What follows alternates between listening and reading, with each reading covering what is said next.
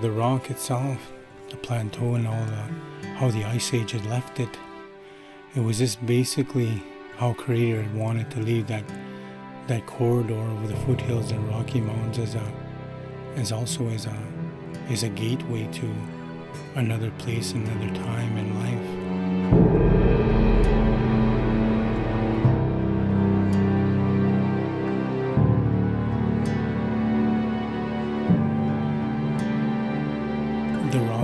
Mountains are unbelievably beautiful and also very spiritual, and very powerful place. It's nothing to be taken lightly when going through that place because there's a lot of different things in that area. When lands have never been even touched by human beings that that when when going through those areas you can feel the power and the mystique within who we are as people and also the history behind every rock and valley and river and lake. There's a lot of um, beautiful stories that go with that and oral history when being told these things um, you can capture just a little bit because the stories take days and days to, just to fill out one story.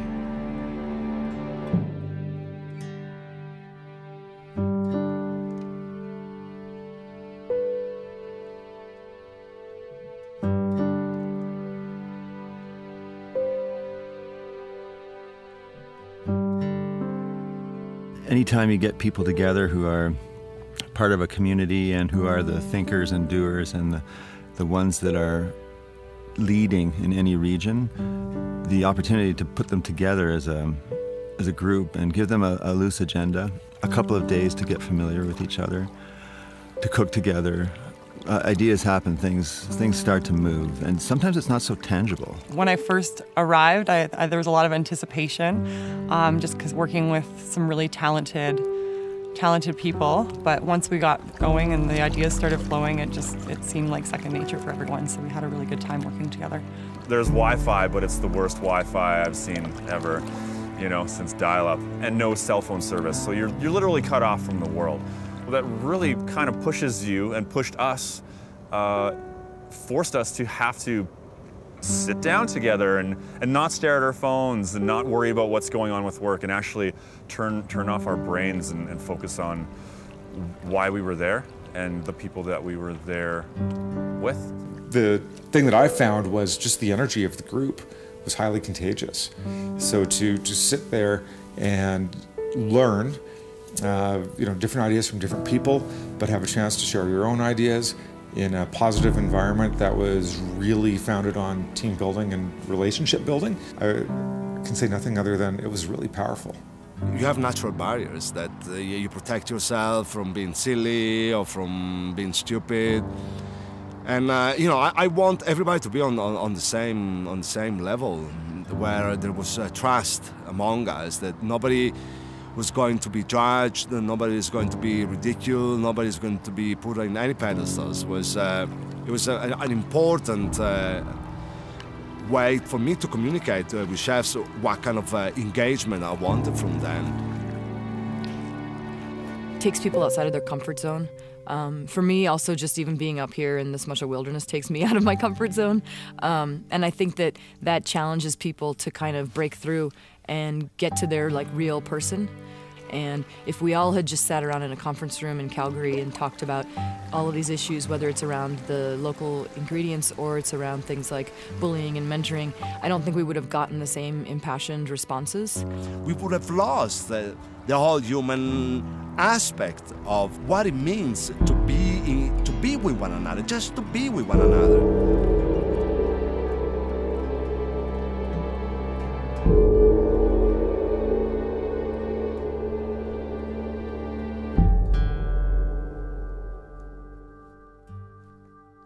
It's a very complex uh, trade uh, to be a chef. You need to have a, a grasp uh, knowledge and notion of uh, many different trades. You, you, you have to you, you have to think in a much more holistic way. Rather, you must think in a much more holistic way because food is holistic. But we are still very much anchored to a very obsolete uh, way of carrying uh, the work in kitchens. We have been taught to be tough, we've been taught to be regimental, we've been taught to be autocratic, and actually all these features they are obsolete. They are just that they should not be there. We are living in a society that needs change. We need to replace what I call a, a more uh, feminine approach, a more nourishing approach, a much more grounded approach. It's a, a much more holistic approach. We get so caught up in our everyday lives in the kitchen and you know unless we get out there and we see new things there's really it's really hard to inspire yourself every day. It forces us to really focus on our work and really focus on what's out there.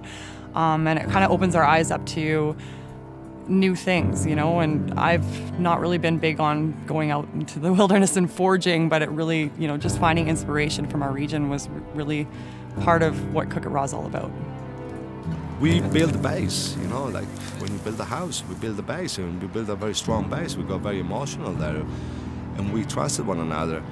It's incredible because, you know, as us as human, we are emotional creatures.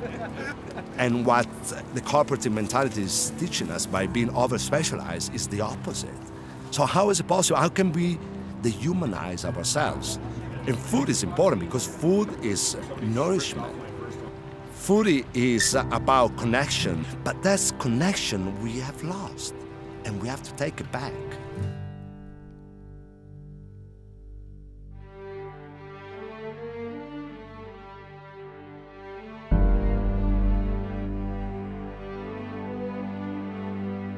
Our responsibility as a team was to cook our dish and plate it 10 times. Again, what this does is it allows us to get a first glimpse of us working together as a team and put together a dish that we've, you know, talked about.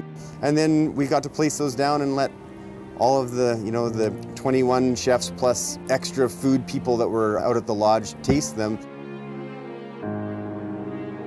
John Michael and I uh, had to make our dessert. We had Jamie Kennedy there helping us out uh, who's just a wonderful, calming soul. I just loved working with him. We made 10 of them and then we plated them and then there was, I don't know, was there 40 people there standing around the table critiquing it. Some people, you know, loved the frozen ice milk and some people thought it should be ice cream and it turned into like, I don't know, it was an awesome debate. I, I was thoroughly entertained by the whole process. I loved it.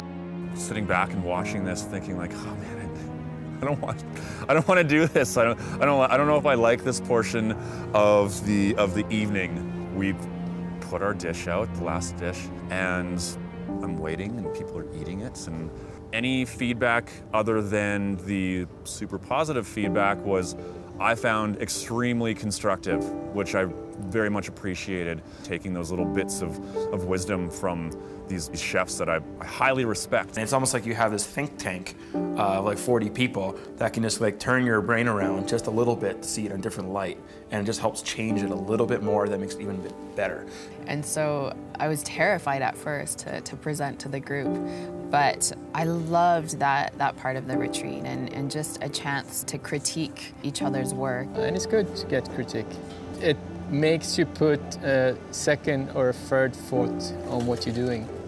I think in some way it's even harder to, to give critique than taking it uh, because everybody has different opinions about things. You have to respect that uh, only because you think that it should be done or should be in one way, it's not necessarily the right way to go. You know, the majority of them, they want to have the ego on, on the plate, and, and I think we were able to strip that down from them. And that for me was a huge achievement.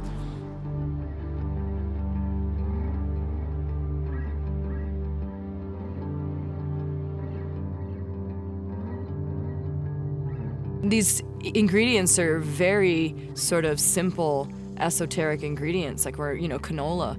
You know, my cuisine is extremely flavor forward, so I was, you know, kind of like, is, am I the right fit for this? I mean, it really challenged me. I think it was awesome.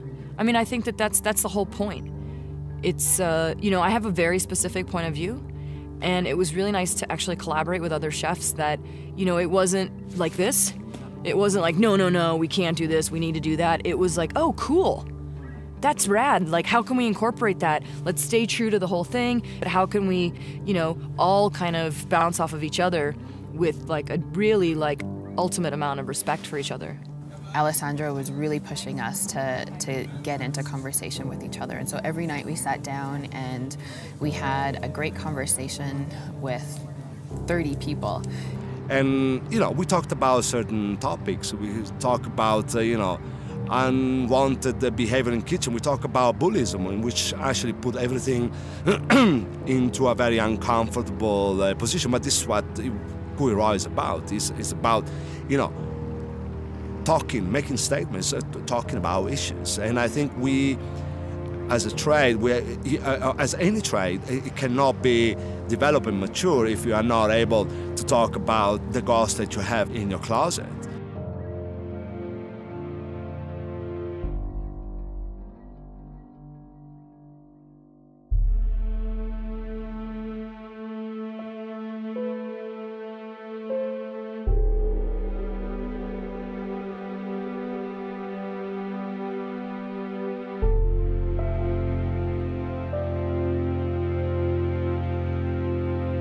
Alessandro made a point of, of having a discussion point on the, the indigenous influence, let's call it that.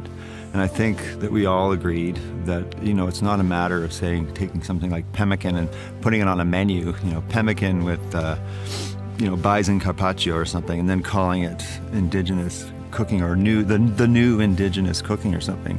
No, it's about taking the, the spirit of a peoples that were here thousands of years before our relatively short intervention into this area, the last 150 years, and paying homage to that in how we think about food. So, you know, a culture that realized that sustainability was key to their own survival out here doing whatever they were doing.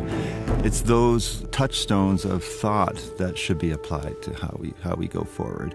And it's you know that's a terroir thing, right? Terroir isn't just about the earth.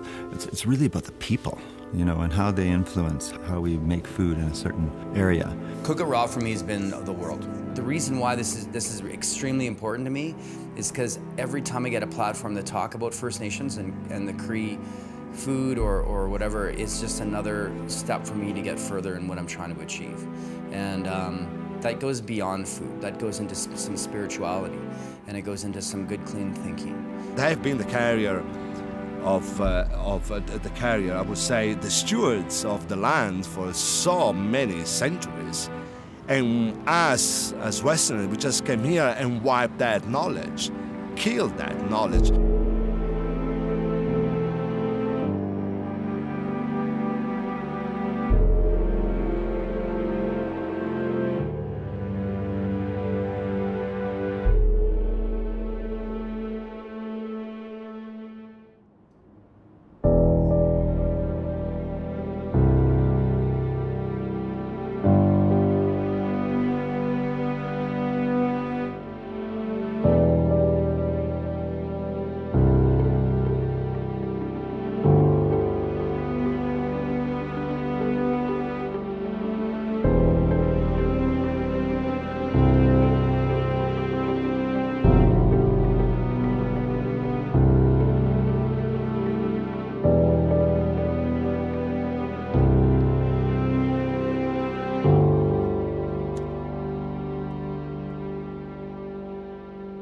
We did our initial dish in Kananaskis and now we're prepping for our first media dinner that we're doing for 50 people.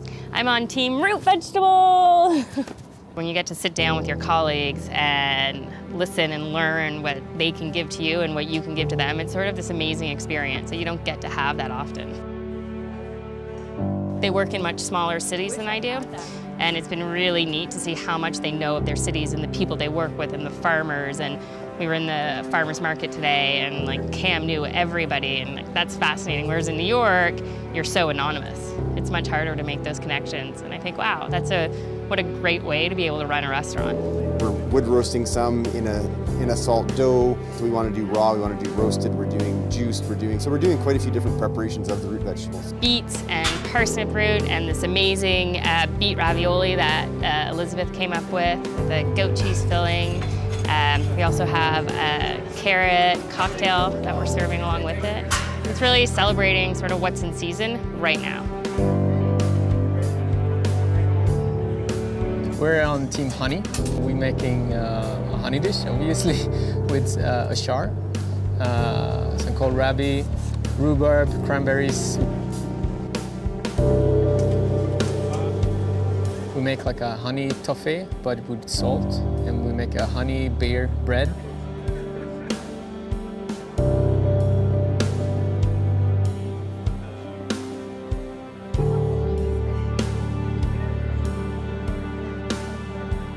Red Fife Puri. So puri is uh, basically a deep fried uh, Indian flatbread with a fenugreek pesto. We had some wild boar jowl on there that was sous vide and then finished on the uh, grill.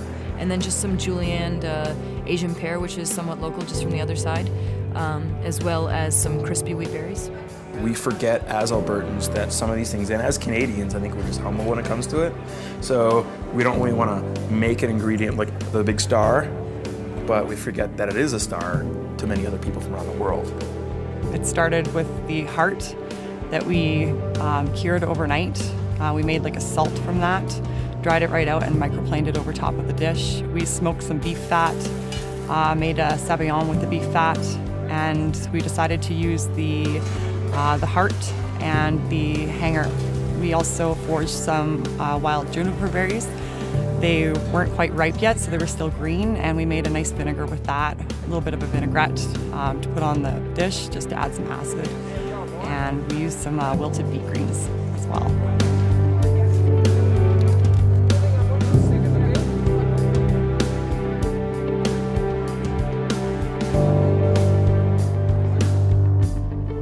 Suppose it's a difficult ingredient because it's usually something you, you cook in as opposed to cook with. So we're using a lot of different brassicas, radishes, turnips, uh, kale, and we're trying to build up layers of, uh, of different, I suppose for me, kind of bitterness and acidity, and um, to try and get try and get to the essence of what canola is. We've braised the bison cheek with the flavors of pemmican. So we have some rose hips, uh, we have some berries, we have some wild sage. It's similar to beef in a way, but it has much more of an earthy component to it. You can taste the grass that it's feeding on, you can taste the wild sage.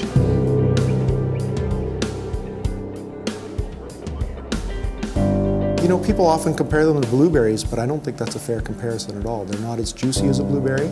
Um, the flavor isn't as pronounced. They're a bit drier, and um, they have an almost almond extract flavor or marzipan. Well, Albert Adria is, well, he's the big deal. I mean, he and his brother probably changed food more than it's been changed in hundreds of years. So um, it, it's easy to defer to him as the expert in this. He had never had a Saskatoon berry until he got here. So it's really neat to see him, you know, taste it, analyze it, smell it, taste it again, add acid, taste it again, and go through that whole learning process. It's actually, it's fascinating. And you know, maybe maybe as chefs we don't do that enough. You know, I grew up with Saskatoon berries, so so you know I take them for granted. But maybe maybe we should all stop and taste our food again and, and taste it more in depth. Seeing the development of uh, the dish, it was just astonishing because they all listened. In one word, epic. It was, uh, I think, a true vision of, of what we wanted Alberta cuisine to taste like.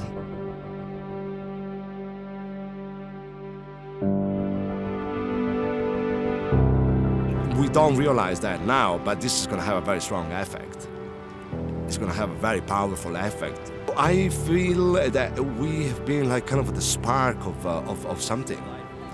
And of course, the responsibility will be of uh, the community of chefs, not just the one that participated, the one that are part of uh, the Albertan community to carry this message and to articulate this message.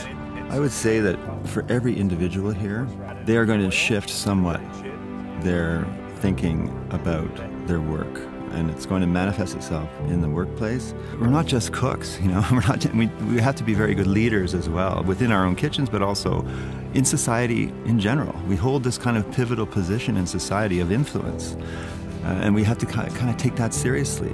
After an event like Cook It Raw, there's momentum, and it's the momentum that I think for me is going to keep me moving forward. I feel it is career changing for me right now. This experience is so rewarding. Like, I can't even describe to anyone how humble I feel and how amazing I feel to be part of this experience. It just makes our, our culinary heart beat faster and louder for, for everyone to hear. This has given us the confidence to walk away and say, this is our identity and this is what we have to do and this is what we have to work with and the people we have to work with and and the products that we grow here are world class and I'm hoping that this group can walk away from this experience with the confidence to say that we are from Alberta.